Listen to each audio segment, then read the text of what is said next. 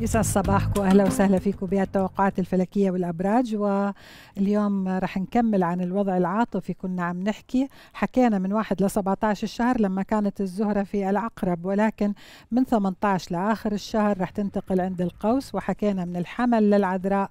اليوم رح نحكي سريعا من الميزان للحوت وتأثيرات وجود الزهرة في القوس على الميزان. اولا الزهرة بالقوس فترة تحمل الحب والرومانسية لبرج الميزان والعاطفة أيضا وتعمل على تعديل وتصويب الكثير من الأمور والتخلص من الكثير من السلبيات. قد تكون فترة ضاغطة من كل النواحي يعني من الناحية المالية الاجتماعية آه، المهنية. فما نخلي التراجع النفسي اللي موجود بسبب هاي الأمور تنعكس على الوضع العاطفي. وإذا ظهرت بعض الأمور من الماضي بدنا نسيطر عليها وأنت قادر على تجاوزها. أما بالنسبة للعقرب فأكيد كانت الزهرة عندك أول 17 يوم فترة ممتازة جدا ولكن مع انتقالها لبرج القوس رح نشوف آه، آه، غالبية برج القوس ولكن نخص العشرية الثانية هي اللي رح تعيد النظر بحياتها العاطفية و تبحث عن الوسائل بشكل أعمق وبشكل آه، أكبر آه، تنزل على أرض الواقع تحلل الأمور وتختار. الكثير من برج القوس رح يختاروا الانزواء والانعزال والابتعاد عن الصخب وعن آه، بعض الأمور الاجتماعية اللي تنفرض على الشخص أحيانا. رح نشوفه ما بيتقبل آه، بعض الأمور الاجتماعية وهاي الفترة هي لحتى يبحث عن الطريقة الأفضل لإحلال السلام العاطفي بحياته. إذا العقرب رح يتخذ قرارات جديدة بسير حياته العاطفية سواء كان للمرتبطين أو غير المرتبطين وسواء كان للعائلة أو للشريك. أما بالنسبة لبرج القوس فلما كانت الزهرة بالعقرب كانت فترة حساسة ونصحنا الكثير من برج القوس أنه يبعد عن التوتر وإذا كان متوتر بده ما يتخذ قرارات ويأجلها للفترة الثانية اللي هي تبدأ من 18 الشهر الزهرة ببرجك. رح تعطيك إيجابيات عالية والمقدرة على حل الأمور وإحلال السلام العاطفي حياتك اللي عندهم مشاكل وتراجع رح يكون في حسم كثير كبير سواء كان سلبا أو إيجابا فهو اتخاذ قرار آه، يخص حياتك ويخص كيف تعيش السعادة بحياتك العاطفية. كمان فترة جيدة لغير المرتبطين من خلال زيادة العلاقات الاجتماعية ومن خلال سفر أنه يتعرف على الشريك المناسب وخاصة الذين كانوا مضربين عن الارتباط والزواج. رح نشوف الكثير منهم رح يتخذوا القرار بالارتباط بإيجاد الشريك المناسب من خلال العلاقات الاجتماعية. أما بالنسبة للجدي فالفترة الأولى كانت فيها تحديات ونقاشات وكنت معرض للمساءلات ولكن هاي رح تنتهي مع دخول الزهرة ببرج القوس فبدك تستغلها بشكل صح لأنها فترة جيدة لإنهاء الخلافات وإيجاد الحلول المناسبة وتعتمد النقاش وإعطاء مساحة كافية للشريك لحتى يعبر عن رأيه.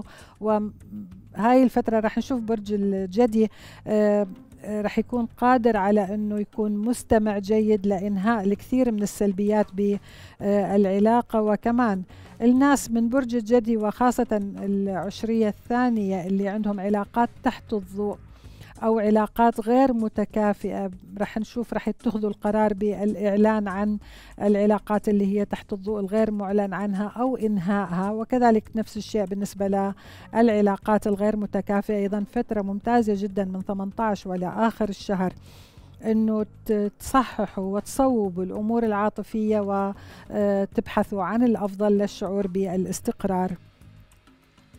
أما بالنسبة لبرج الدلو فكان في خلافات بالعلاقات الجديدة عدم تفهم الشريك عدم تفهم الآخرين. لبرج الدلو كان المطلوب بالتخلي عن الكثير من العادات السيئة والسلبية واللي ما بتتماشى مع الشريك وهذا بينطبق على البعض من برج الدلو اللي آه، مرتبطين ببعض الأبراج اللي ما بتتماشى مع مع برج الدلو. ولكن عندما تنتقل الزهرة إلى برج القوس فبنشوف تتلاشى السلبيات تدريجيا حتى لو كانت آه، بطيئة ولكن رح تكون محسوسة ورح نشوف برج الدلو رح يكون عنده المقدرة على تجاوز الكثير من المطبات إنهاء الكثير من السلبيات. تبحث عن أسباب التراجع وتعطي الفرصة للشخص المقابل أنه يشاركك بالنقاش وبالحديث وتكون مستمع جيد أيضا. آه، تنتهي فترة النفور وفترة النظر فقط للسلبيات. رح نشوفه إنه رح يعمل توازن ما بين السلبي والإيجابي ويعتمد الإيجابي أكثر من السلبي. هذا كله بيخليك تعيش السلام العائلي و آه، الكثير من المطبات بالعلاقة العاطفية. أما بالنسبة لبرج الحوت اللي كان آه، فترة مش سهلة أبدا خاصة حكينا بالفترة الأولى إذا كانت العلاقة العاطفية مرتبطة بأمور مالية كان في تراجع كبير فيها وطلبنا من برج الحوت أنه يفصل ما بين العلاقة العاطفية والعلاقة المالية آه، ويبتعد عن التوتر والعصبية. أما عند انتقال الزهرة لبرج القوس من 18 وإلى آخر الشهر فترة جيدة عاطفيا وفيها الحب والشعور بالاستقرار. رح نشوف تتراجع الضغوطات بهاي الفترة و فترة بدك تستغلها بشكل صح يا برج الحوت لدعم العلاقات وتعزيز علاقتك مع العائلة والشريك. غير المرتبطين أيضا فترة جيدة لاتخاذ القرارات بالارتباط. عندنا وقت نرد على الأسئلة. عندنا آه، الكثير من الطلبات كانت على برج السرطان ولما كانت الزهرة بالعقرب آه، كانت فترة صعبة كان فيها مشاكل وصح كان فيها مطبات وتشعر بالتوتر والضغوطات كنت بوضع تشعر بالانزعاج منه على كل على مستوى العائلة أو على مستوى الشريك. ولكن عند انتقال ب آه، القو... الزهرة إلى القوس راح نشوف. هي صح فترة مش سهلة ولكن تحمل بعض الانفراجات وراح آه، تكون بإمكانك مع شوية تنازلات ومع شوية صبر ترجع تكون أنت المسيطر على الوضع. وهذا الشيء راح يخليك تشعر بالراحة النفسية. تنتهي فترة المساءلات وكنت آه، معرض لأنك تشرح وتفسر أي تصرف تعمل وهذا كله رح ينتهي بهاي الفترة. رح تعمل على حل الأمور بالنقاش والدبلوماسية وهذا رح يخليك تشعر بالأمان والإستقرار. إذا آه، بكرة عندنا الأسماء وطاقة الأرقام والحروف عندنا آه، توافق الأبراج والبرج الصاعد وتحليل الأسماء آه، اللي حابب أنه يعرف عن شيء من هذه المعلومات بدك بدكم تبعثوا لي تاريخ الميلاد بشكل واضح ساعة الميلاد أيضا من بأرقام زوجية من التنتين لل للأربعة من ال 12 للتنتين لحتى أقدر أرد على أسئلتكم. شكرا لمتابعتكم. يسعد صباحكم. صح صح